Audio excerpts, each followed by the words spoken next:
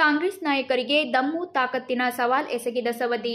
ಕಾಂಗ್ರೆಸ್ ಪಕ್ಷದ ನಾಯಕರುಗಳಿಗೆ ತಾಕತ್ತು, ದಮ್ಮು ಇದ್ದರೆ ಬಿಜೆಪಿ ಪಕ್ಷಕ್ಕೆ ವಲಸೆ ಬರುತ್ತಿರುವ ಕಾಂಗ್ರೆಸ್ ಶಾಸಕರನ್ನು ತಮ್ಮ ಪಕ್ಷದಲ್ಲಿಯೇ ಇಟ್ಟುಕೊಳ್ಳಿ. ನಿಮ್ಮಲ್ಲಿ ದಮ್ಮು ಇದ್ದರೆ ಅವರನ್ನು ತಡೆಯಿರಿ ಎಂದು ಕಾಂಗ್ರೆಸ್ ನಾಯಕರಿಗೆ ವಿಧಾನ ಪರಿಷತ್ ಸದಸ್ಯರಾದ ಲಕ್ಷ್ಮಣ್ ಸವದಿ ಅವರು ಸವಾಲು ಹಾಕಿದ್ದಾರೆ. ಅವರು ಬೆಳಗಾವಿ ಜಿಲ್ಲೆಯ ಚಿಕ್ಕೋಡಿ ಲೋಕಸಭಾ ವ್ಯಾಪ್ತಿಯ ಕಾಗವಾಡ್ ಮತಕ್ಷೇತ್ರದ ಮದಬಾವಿ ಗ್ರಾಮದಲ್ಲಿ ಬಿಜೆಪಿ ಕಾರ್ಯಕರ್ತರ ಸಮಾವೇಶದಲ್ಲಿ ಮಾತನಾಡುತ್ತಾ, ಬಿಜೆಪಿ ಹಾಗೂ ಮೋದಿ ತಾಕತ್ತು ನೋಡಿ ಕಾಂಗ್ರೆಸ್ ಶಾಸಕರು ಬಿಜೆಪಿ ಪಕ್ಷಕ್ಕೆ ಬರುತ್ತಿದ್ದಾರೆ. ದೇಶ ದೇಶಗಳ ಮಧ್ಯದ ಯುದ್ಧವನ್ನು ನಿಲ್ಲಿಸಿ ಅಲ್ಲಿನ ಜನರನ್ನು ಸುರಕ್ಷಿತವಾಗಿ ಮರಳಿ ಭಾರತಕ್ಕೆ ತಂದು ತಾಕತ್ತು ತೋರಿಸಿದ್ದು ಮೋದಿ ಅವರ ತಾಕತ್ತು. ನಮ್ಮ ದೇಶದ ತಾಕತ್ತು ಎಂದರು. ಮುಂದುವರೆದು ಮಾತನಾಡಿ ಕಾಗವಾಡ್ ಮತಕ್ಷೇತ್ರದಲ್ಲಿ ಸ್ವತಃ ನನ್ನ ಮಗನೇ ಬಂದು ಚುನಾವಣೆಗೆ ನಿಂತರೂ ನಾನು ಬಿಜೆಪಿಗೆ ಸಪೋರ್ಟ್ ಮಾಡುತ್ತೇನೆ. ವೇದಿಕೆ ಮೇಲೆ ಆಸೀನರಾದ ನಮ್ಮೆಲ್ಲರಿಗಿಂತ ದೇಶ ಮತ್ತು ಪಕ್ಷ ದೊಡ್ಡದು. ನಾವ್ಯಾರು ದೊಡ್ಡವರಲ್ಲ ಎಂದರು.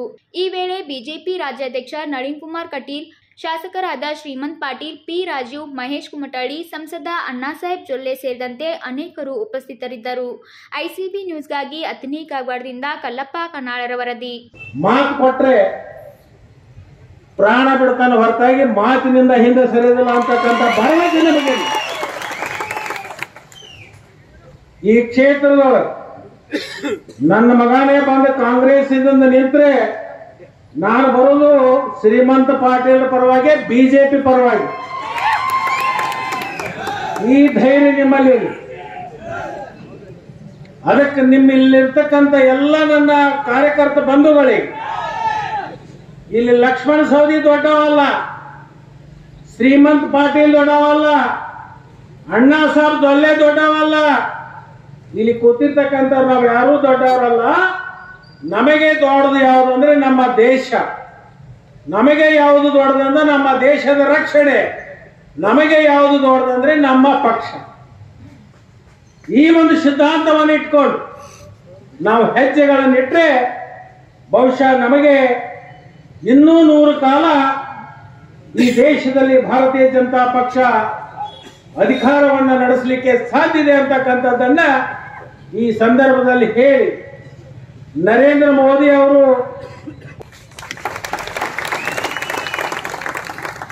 ಕಾಂಗ್ರೆಸ್ ಅವ್ರ ಕೇಳ್ತೀನಿ. ತಾಕತ್ತಿದ್ರ. ದಮ್ಮಿದ್ರ ನಿಮ್ಮ ಶಾಸಕರು ಏನು ಓಡಾಡಿ ನಮ್ಮ ಪಾರ್ಟಿಗೆ ಬರಕ್ ಹತ್ತಾರಲ್ಲ? ಅವ್ರು ನಿಲ್ಸುವಂತ ತಾಕತ್ತು ತೋರಿಸ ನೋಡ.